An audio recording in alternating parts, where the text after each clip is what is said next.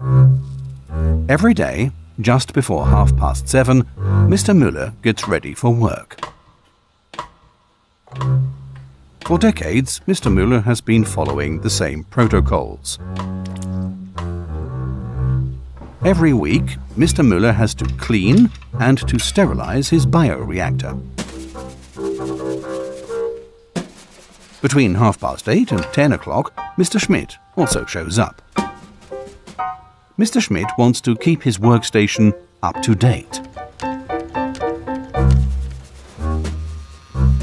He's always open to new solutions that simplify his work. However, cleaning the bioreactor still requires a lot of effort.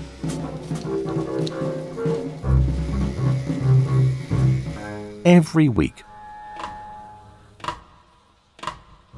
The next cleaning day begins like any other day.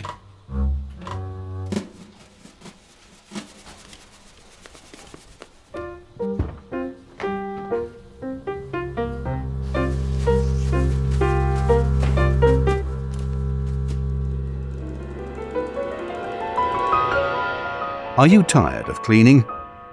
The LAB CIP cleans and sterilizes the Labfors 5 benchtop bioreactor automatically overnight.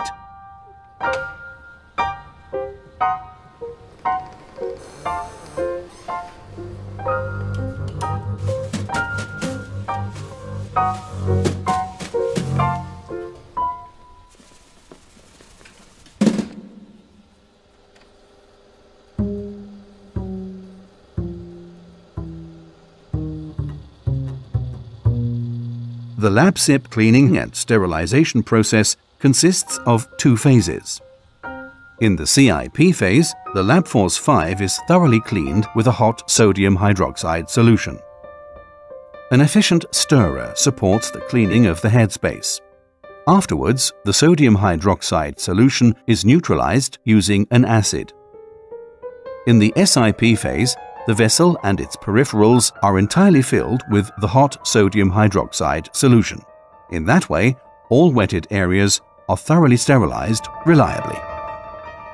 Finally, the system is neutralized and rinsed with sterilized deionized water. The Labfors 5 is now ready for a new bioprocess.